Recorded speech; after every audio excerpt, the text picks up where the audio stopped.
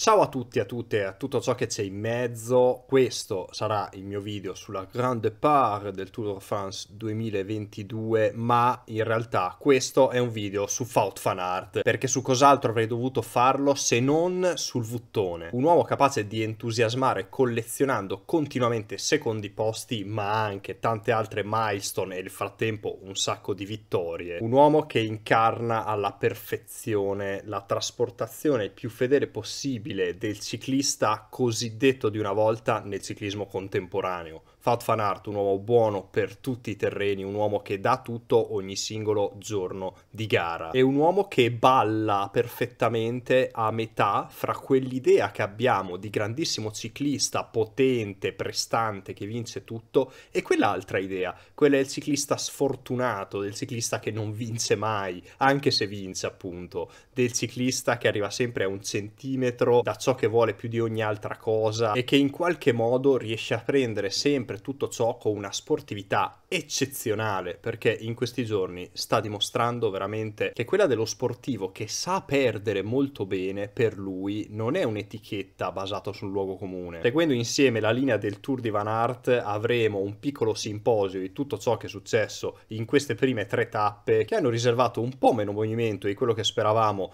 particolarmente sul ponte del Great Belt Bridge ma che comunque come sa fare perfettamente il Tour de France regalano sempre tantissime storie di cui parlare, tantissimi personaggi, fra cui ovviamente l'altro uomo a cui avrei potuto dedicare l'interezza di questo video, che non è Fabio Jacobsen, che non è Dylan Groenewegen, che non è Yves Lampard, ma è Magnus Kort Nielsen. Magnus Kort Nielsen mi piace? Sì, sta dominando in fuga. Chapeau. Ha il baffo più porno dell'universo. Chapeau. È più amato di Pedersen, Asgren e Vingegaard messi insieme. Chapeau. Lo metto fra i più grandi scopatori ciclistici della storia. Sì. Parere mio personale, sbaglierò? Amen. Per me la qualità, la raffinatezza, ventola. Il Tour 22 è iniziato circa qua, con la concentrazione del vuttone tutto bagnato e dietro un Taddeo sostanzialmente addormentato dalla sua stessa esagerata e noiosissima dominanza. Pippo Ganna, Fot Van Aert e Tadej Pogacar sono stati i tre assi che sono scesi tutti e tre insieme a distanza di un minuto nel momento clou della crono e forse di tutti questi primi tre giorni perché c'è stato veramente un display di classe e di potenza da parte di tutti e tre, tutti con pochi eguali in mezzo alla pioggia danese, ma in particolare Van Aert è partito fortissimo. Tre secondi subito su Ganna, il campione del mondo ha staccato il miglior tempo battendo Van Der Poel, ma Van Aert arriva arriva da dietro con l'occhio fisso sul cronometro e sul risultato. La stessa scena praticamente che abbiamo visto con Ganna al mondiale mentre sorpassava Van Aert è avvenuta stavolta a parti invertite e con 5 secondi su un uomo che perde praticamente una crono ogni decennio. Il Vuttone si sentiva molto molto comodo sul trono di primo classificato parziale della crono, fino a quando come un fulmine a ciel sereno ma in realtà come un raggio di sole in un cielo di Copenaghen che si era un pochino aperto nel frattempo,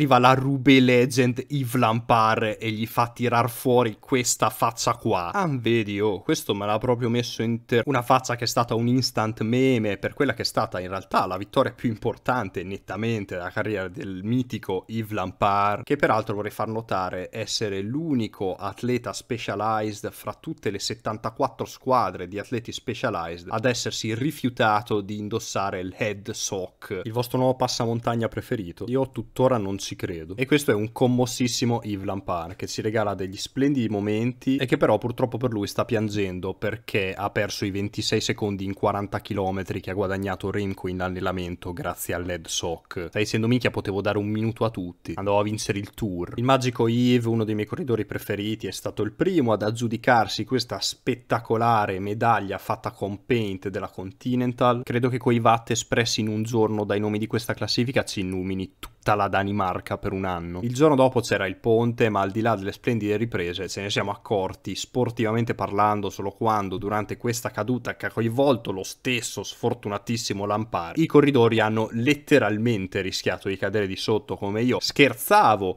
che sarebbe potuto accadere agli scalatori più leggeri su questo ponte, ma cioè non mi aspettavo che succedesse davvero. State un po' attenti ragazzi, per favore. Eh. Ovviamente se c'è una cosa che tende a caratterizzare le prime tappe del tour, lo sappiamo sappiamo benissimo, sono le cadute. Il gruppo è troppo folto, si va troppo forte, appena una strada si restringe un pochino, in un punto chiave della corsa succede un macello. In quella tappa è successo più di una volta, la seconda caduta avvenuta solo a due chilometri dall'arrivo, nella quale hanno rischiato un sacco di uomini di classifica e una delle cose più interessanti della seconda settimana sarà vedere proprio se qualcuno di questi uomini avrà delle conseguenze non appena in gruppo si aprirà il gas alla prima salita importante. Gente come Dani Martinez, Ben O'Connor o Enric Mas avranno a lente ingrandimento addosso. Alla fine è stata una volata classica, seppur a ranghi ridotti. Jasper Stuyven è riuscito a lanciare Mats Pedersen partito lunghissimo perché sa di poter vincere praticamente solo così contro degli sprinter più puri con una punta di velocità più alta. È un po' il discorso che solitamente fa Van Aert, però ancora più in grande. Il Vuttone gli ha preso a ruota, ma alla sua ruota c'era come uno squalo Fabio Jacobsen, creeping in the background, pronto a produrre i 50 metri di ciclismo più strada più potenti e veloci del mondo. E sostanzialmente anche se il Vuttone esce benissimo dalla ruota di Maz, in questa situazione lui è Michael Schumacher, Pedersen è Zonta e Fabio Jacobsen, è Mika Hakkinen che sta andando a vincere la tappa di Spa Niborg 2000 e secondo giorno, secondo meme, il Vuttone si gira, vede Jacobsen troneggiare, alzarsi sui pedali con tutta proprio la potenza di un titano di fianco a lui, lo guarda allibito e dice fuck! Oppure non so quale altra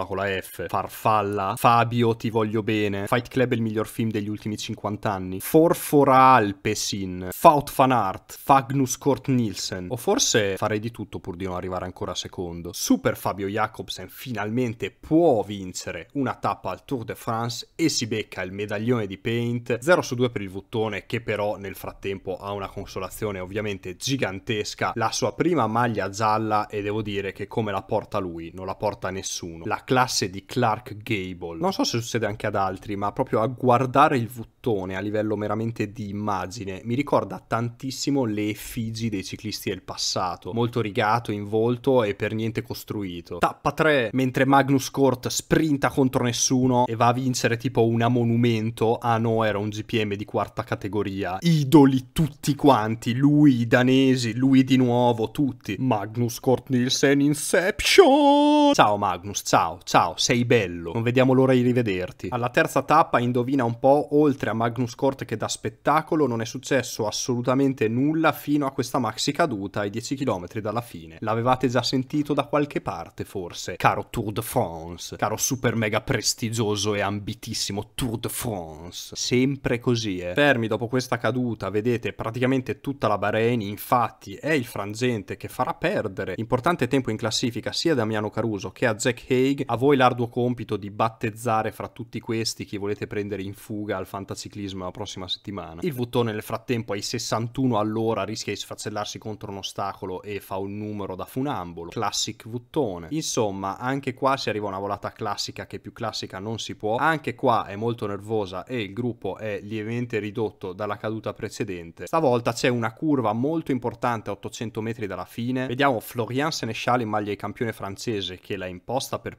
primo Michael Morkov il miglior lead out al mondo sulla sua ruota che si scarrozza in maglia verde Fabio Jacobsen. Qui sulla destra però che sta contendendo a Morkov l'ingresso molto importante in questa curva c'è Alexander Kristoff mentre questo è Christophe Laporte alla sua sinistra c'è Peter Sagan e alla sua ruota Faut Van Aert in maglia gialla. In curva però Jacobsen si trova Kristoff alla propria destra è costretto a frenare altrimenti gli sarebbe andato addosso. E pochi metri dopo è qua dietro. Nel giro di 50 metri ha perso 5-6 posizioni assolutamente cruciali per sperare di far bene in una vasca di squali come è la volata di un Tour de France. Ovviamente ha perso anche tantissima velocità e allora le sue chance sono praticamente infinitesimali in questo momento quando Morkov ignaro lanciato da Seneschal sta partendo per proporre il proprio lead out. Ma quando si gira non vede verde vede giallo ci sono la Porte Van Aert sulla sua ruota e allora dice io qua non ci sto a far nulla. Allora Morkov molla si sposta al centro della carreggiata mentre si fa riassorbire a tutti gli altri. Ma la Porte il lead out di Van Aert è sorpreso da questa cosa. Lo deve circumnavigare così come abbiamo visto far prima Jacobsen. Ma Faut ormai ha perso la sua ruota e allora decide di lanciare direttamente lo sprint essendo rimasto al vento. Alla sua di ruota però ci sono tutti gli altri. C'è il redivivo Peter Sagan c'è Dylan Groenewegen e c'è anche Caleb Ewan con ancora più dietro Fabio Jacobsen. Da quest'altra parte invece hanno preso la traiettoria sbagliata insieme alla Porte Jasper Philipsen e Mats Pedersen Pedersen. Van Aert, come il giorno prima, a 100 metri dalla fine sulla propria progressione si trova al primo posto ed è in questo momento però che nasce il giallo che da ieri tiene banco in giro perché Van Aert si sposta lievemente sulla destra seguendo quella che è la linea della strada, lo possiamo vedere dalle linee continue disegnate sulla strada. Prima lui c'era praticamente attaccato, dopo esattamente a metà fra i segnali stradali e la transenna. Mentre Sagan, che stava tenendo la sua linea e cercando di sorpassarlo, è costretto a tirargli una spallata per non cadere, mentre Iwan dietro si è già fermato e li sta mandando già tutti a quel paese. Groenewegen nel frattempo, dopo aver preso la scia di Faut, trova la linea perfetta invece alla sua sinistra. Jacobsen è troppo indietro per essere un fattore e sulla linea d'arrivo è uno sprint a 4 che al fotofinish purtroppo per Faut non lascia dubbi. È una vittoria per Dylan Groenewegen ed è una vittoria veramente di pochissimo. E allora il Dylanone stavolta a vedersi disegnato addosso questa splendida medaglia. Van Aert non ci riesce neanche stavolta. 0 su 3 con questi 3 secondi posti consecutivi nelle prime tre tappe del tour arriva a quota 9 stagionali a fronte di 5 vittorie. Ma la realtà, punto numero 1, è che nessuno ha caratterizzato questa corsa come Van Aert finora. E punto numero 2 è che nonostante tutto lui continua a saper perdere meglio di chiunque altro. Sicuramente meglio di Sagan che pur simpaticamente se l'è platealmente presa con lui per averlo stretto sulle transenne.